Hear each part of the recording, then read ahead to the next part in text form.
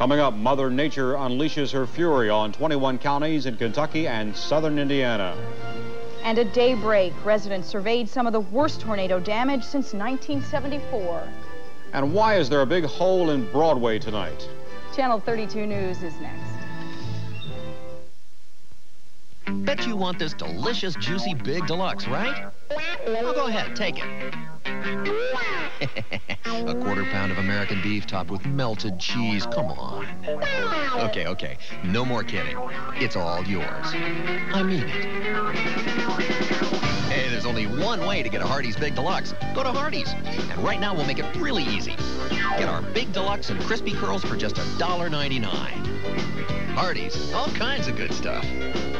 Uh, the best blueberries are the wild ones up here in Maine. So when the folks at Martha White told me how many they needed for their double blueberry muffins, I told them we'd have to pick all the berries in Maine to get that many. Now, I know putting all them blueberries in a muffin will make a lot of blueberry lovers real happy, but it's making some of the ones around here darn ornery. Okay, okay, but just one more. New Martha White Double Blueberry Muffins. Double the real blueberries makes them twice as good. If you're thinking about buying a Camry or an Accord, think about this. The Nissan Stanza has a more powerful standard engine. Mm -hmm. It's got more standard features inside and out, and it costs just $11,650. The 1990 Nissan Stanza. Either we're overachievers or they're overpriced. Take the Nissan Stanza challenge. Test drive a Stanza. If you still buy a Camry or an Accord, we'll give you $100. Look at that car. Making a splash something new. Cooking seafood good for you. Long John Silver, making a splash. Baked seafood, doing it right. Flaky and white, oh so light. Get them fast at Long John Silver's. Baked cod, cod supreme, or shrimp scampi. Making a splash. Try our delicious new baked fish and seafood, starting at just $3.99. This is Pulitzer Broadcasting, 32 WLKY, Louisville. Now, Steve Bergen, Sandra Hughes, Reed Yaden's weather, and Rick Van Hoos with sports. This is Channel 32 News. Good evening, everyone. Topping our news, another tornado in Indiana today. This one touched down in Rush County, that's in central Indiana, but there were no reports of damage or injuries. In Petersburg and Bedford, Indiana, they are still counting their dead and assessing the damage from last night's tornadoes. Bedford may be grabbing the headlines, but other southern Indiana counties are reeling from last night's tornadoes. A trailer park was hit in Salem. A shopping center and bowling alley suffered heavy damage in Sellersburg. We're thankful. Nobody got hurt. Nope. A twister roared through a section of the Southway Village trailer park in Salem. We lost everything. Everything's gone. Just flattened it. Trailers were tossed around like matchboxes, but many here heeded the tornado warnings. They left their homes for ditches. At daybreak, they searched for something to salvage. In Sellersburg, the roof of the Silver Creek Plaza was ripped away as though someone had taken a can opener to it. And all of a sudden, we heard this class and, and just a big old boom, so we just hit the deck. Businesses here suffered heavy damage. I want to cry. a twister also hit nearby Hamburg, smashing a service station and flipping a mobile home into a nearby creek. In Floyd County, crews worked to open roads filled with debris. Other Indiana communities damaged by tornadoes overnight include Orleans, Montgomery, Brownstown, the Seymour area, and Shoals, but in all of those areas, injuries were minor.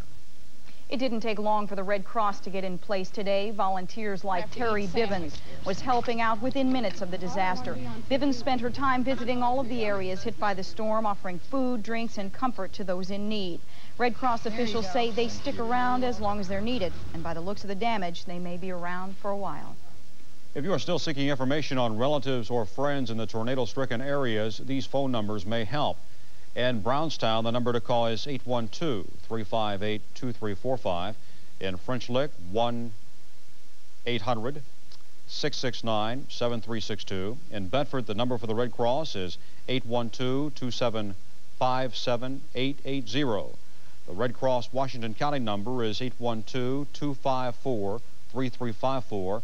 And in Orleans, you can call 812-865-3359. For road closing information because of the storm, you can call the Indiana State Police at 1-800-852-3970. Although no one was killed or seriously injured here in Kentucky, the Twisters did not ignore the Bluegrass State. Six counties were hit by six different tornadoes. At least four people are reported to have suffered injuries. Farm subdivision was hardest hit in Oldham County. At one family's former home, they searched for whatever can be salvaged. It seemed like a noise, just like a balloon blowing or something, and then it just, like it popped and it just exploded. I guess that's when the house just, everything blew out, you know. The Robert Heim home is only one of about a dozen destroyed or damaged in LaGrange. A lumber company is reduced to lumber, just a mile. I'm trying to salvage out all of her stuff, what's left, you know. Lisa Eads' grandmother, 66-year-old Mildred Olson, was hospitalized with minor injuries. Here's an overview of Kentucky and the other five counties hit by twisters. In Morgan County, there were no injuries, but power lines and trees were down all across the area.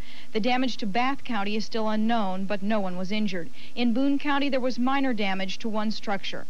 In Shelby County, several roads are closed, power lines are down, no one was injured.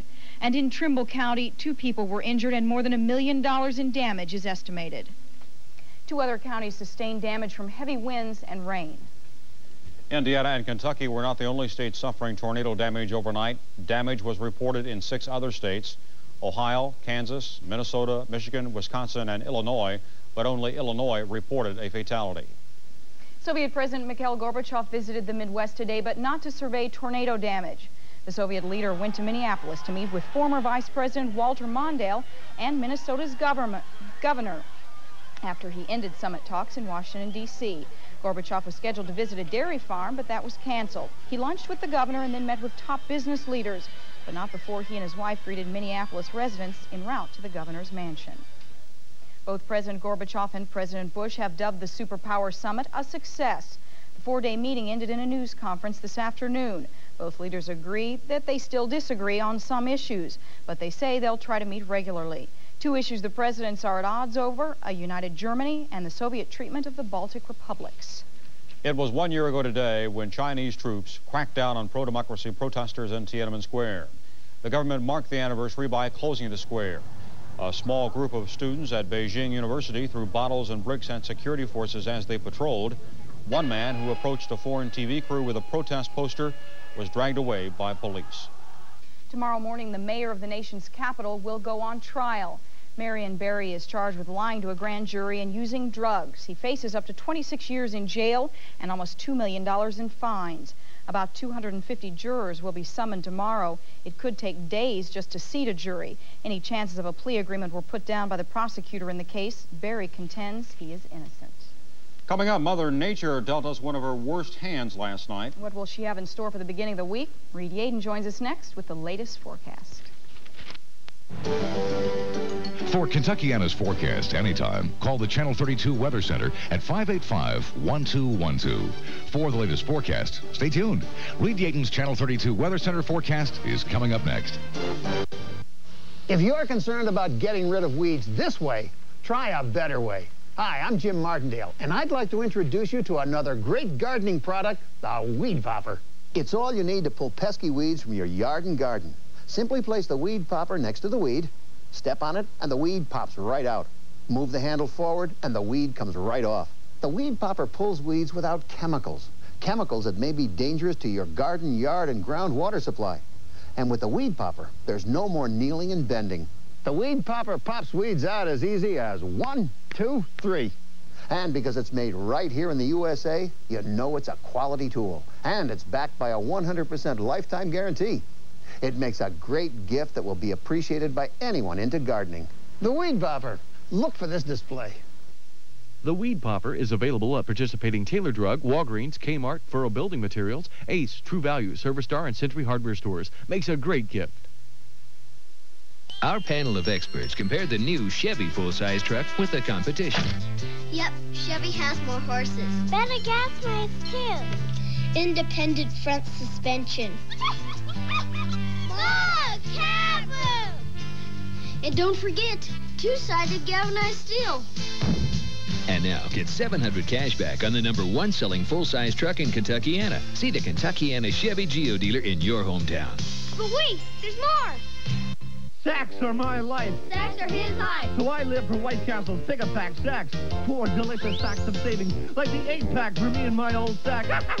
or a family pack, or a snack pack, or a 20-pack for stacking down, dude. Hey, slide into a White Castle. The only thing better than living in a Pick-a-Pack sack is eating from one. Mm. Snack pack 229, 8 pack 539, family pack 909, 20 pack 959. The packs are back.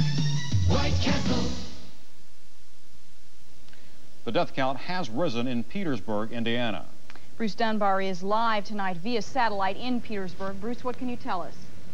Well, Steve and Sandy, we're standing on the main drag here in downtown Petersburg, and I've got to tell you, it's an eerie feeling. The city has been plunged into darkness. There's no electricity, there's no water, and all around us is evidence of last night's twisters that roared through here.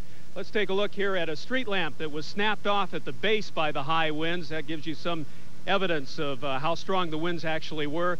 Behind me is a diner that's been shredded by the tornado. Ironically, though, inside some chairs are still neatly stacked on top of tables where somebody left them when they closed up last night. Over here, somebody's brand new Buick. At least it was new 24 hours ago. Now they can't sell it for scrap metal. Six people have died here so far. 60 people have been injured. A nursing home has been flattened. An elementary school was leveled. This is the first community here in southern Indiana that was hit by that line of tornadoes and uh, thunderstorms that ripped through here uh, last night. Uh, we're very close to the Illinois border. After uh, this place was struck, uh, the storm system moved on, of course, to the center of the state and to Bedford. We were there earlier this afternoon and we learned that one person was killed, 54 were injured. We'll show you more on that story now. The tornado cut a path of destruction half a mile wide and 10 miles long. Hardest hit was a group of roadside businesses just north of the intersection of US 50 and State Highway 37. The mobile home you're looking at right here was the first mobile home sitting right there. It was sitting in front of these. So it evidently picked it up, brought it over, and set it back down right there. The twister flattened 11 businesses, including a furniture store, a restaurant, a used car lot, and Danny Compton's Step Saver, a combination gas station and convenience store. Said it split into two two different clouds and two funnels, and they both took off and tore everything up. The tornado also roared through Riverview Trailer Park, destroying every home. William Richardson's was one of them. It contained everything he owned. None of it was insured. What did you lose? everything. Homes in several nearby neighborhoods were also damaged, and many of those left untouched are without electricity or telephone service this evening. The tornado snapped at least 50 telephone poles and down more than five miles of cable. Have you ever uh, seen a tornado like this before? Not this bad. No, this is probably the worst one I've seen in 34 years. Indiana Governor Evan Bayh surveyed the damage from a National Guard helicopter about mid-afternoon today.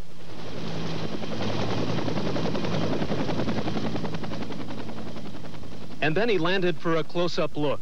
In flying over the scene, uh, you see uh, uh, homes have been destroyed, businesses wiped out, uh, trees and power lines snapped like toothpicks. It's uh, reminds you of the awesome uh, destructive power of nature. There's no specific estimate on dollar damage here, but it obviously will run into the tens of millions of dollars. Insurance will cover part of the cost of rebuilding.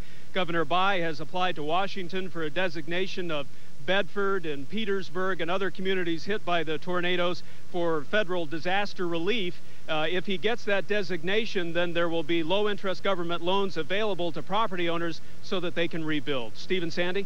Bruce, you've been to the two hardest hit areas in southern Indiana, Bedford and now Petersburg. What's the feeling among the people? Is it, is it one of, of rebuilding now?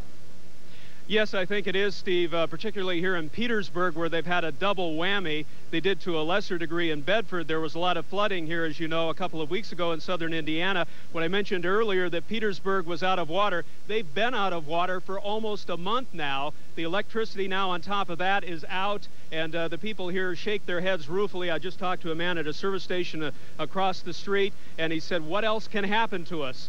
We can't imagine anything worse than what we've already gone through. It's got to get better from this point on. Stephen Sandy? Bruce, thank you very much. National Guard, has secured the towns of Bedford and Mitchell, Indiana. Roads were closed as of 9.30 Eastern Time. That means no one will be allowed in or out of the two towns. The idea is to keep traffic to a minimum because of downed power lines and blocked roads. There is a big hole in the middle of Broadway in downtown Louisville, and it's going to be there for weeks. There was a cave-in of a sewer line on Broadway at Preston Street tonight. To fix it, the Metropolitan Sewer District says the entire intersection will have to be excavated. The brick sewer line may be 100 years old. Somewhere there was a, uh, a void developed, uh, and as part of the sewer, uh, probably fell in being brick and old, uh, and washed the material out from underneath the pavement. The pavement is just hanging there in midair. MSD's Carl Newmeyer says with 100 miles of old brick sewer line in the city, there is always the possibility of more cave-ins. Fixing this one may take six weeks. It has been a long couple of days for Captain Radiate, and last night he was uh, issuing all the tornado warnings and watches and advising you on the significance of those. And uh, today you've been up in the helicopter surveying all the uh, storm damage. We talked about it earlier, and uh, Governor Bayh said it again. It looks like toothpicks. You just can't believe the destructive force of these storms. So as we kind of have one more little postscript to this whole episode, I want to make a couple of points here. First of all, when a tornado warning is issued, take it seriously, please. I hope last night, if you were in one of the areas where a warning was issued, I hope you took the proper precautions. If you did not, shame on you. I hope you will learn something about what you need to do and in the future take it. But take the warnings serious, please. And for folks that live in uh, mobile homes, some areas require it. Some areas don't, but you should require it for yourself, and that's tie-down straps on those mobile homes. They're kind of like belts. They go over the entire mobile home, and they're anchored in the ground.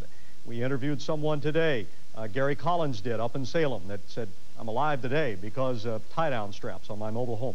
Keep those points in mind. Now let's all kind of take a, a deep breath, kind of relax tonight, a little lower key than we were last night. I think that's okay with everyone. We'll have some weather watcher reports now. Certainly much more pleasant than it was last night. And I think uh, Mother Nature can certainly show an ugly hand and turn around 24, 36 hours later and produce a very, very beautiful day. We have a couple of nice days coming up. You're not going to need the air conditioning. I've refused to turn mine on, so come close, but I haven't turned it on yet. In Paoli tonight, Orange County, they were rumbling up there this time last night. Tonight, cloudy skies, 68 degrees in Paoli. Kim and Dwight Dozier out in Plainview. A couple of brand new weather watchers. Welcome aboard, 71 degrees. And happy birthday greetings to Gene Hardison. He's celebrating with his family and friends. Big celebration still going on down in Nelson County tonight. And they report 70 degrees. And uh, Gene Hardison and his family began uh, the early hours of his birthday in the basement during a tornado warning. And that's exactly where they belong. Now then, the rest of our weather story starts with a Beautiful sunset tonight. We captured this with the Channel 32 tower cam. And at the present time, temperatures dropping off, but look at that humidity, a lot lower than it was this time 24 hours ago. Humidity 54% at 76 degrees, quite windy, gusting up to 30 miles an hour from the southwest, and the pressure holding steady.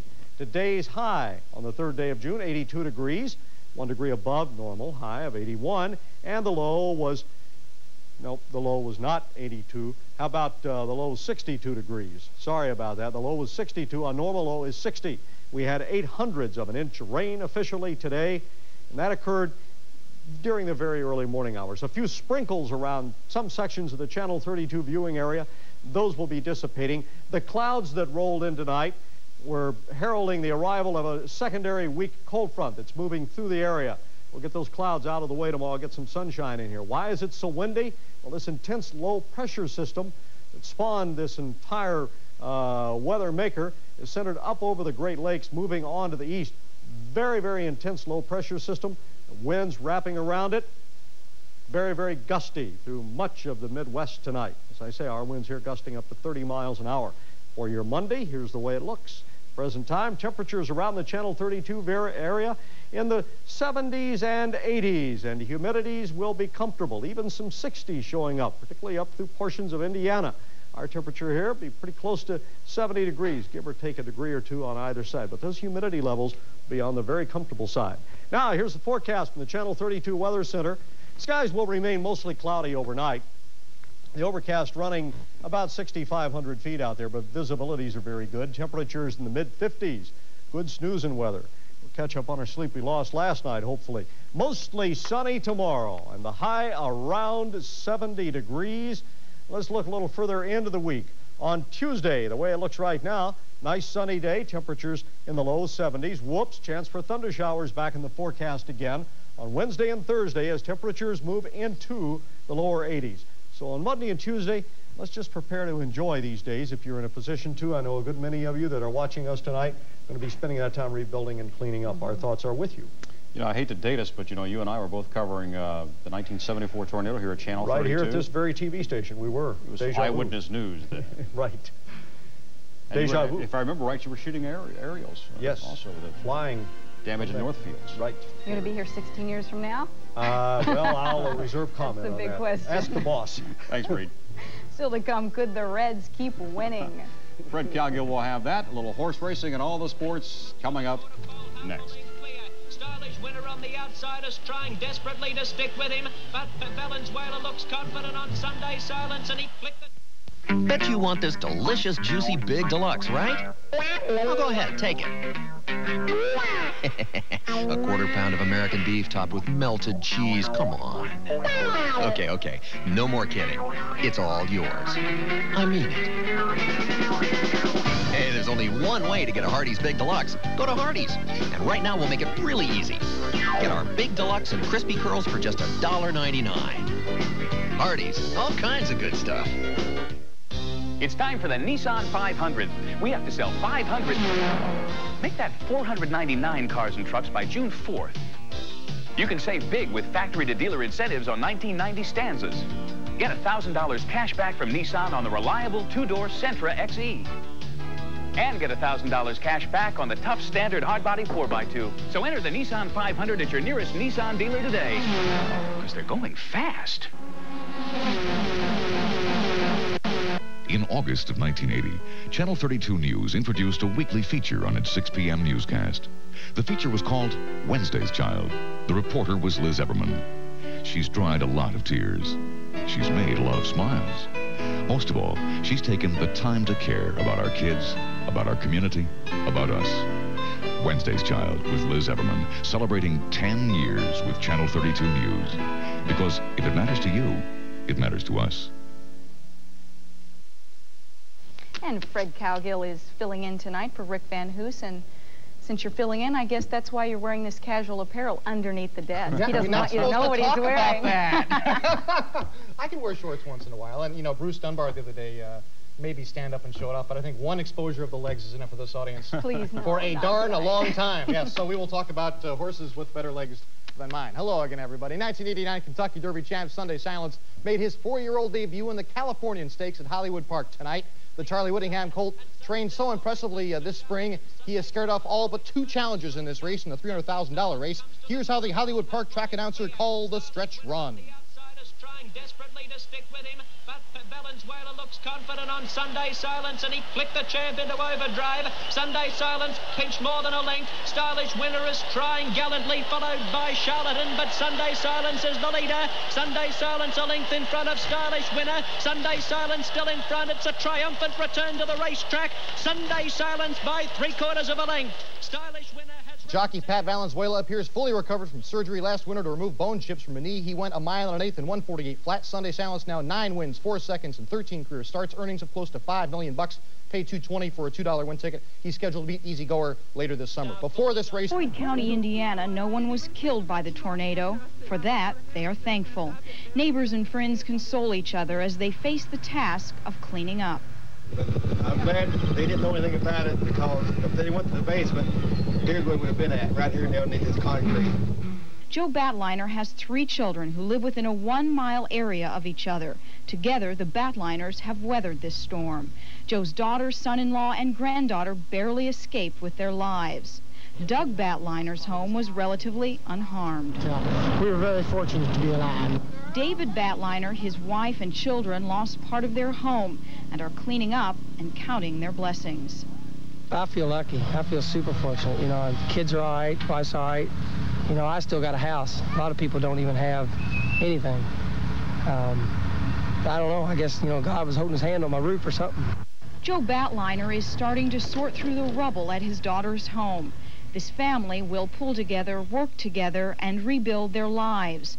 The Batliners are not so much concerned with their material losses.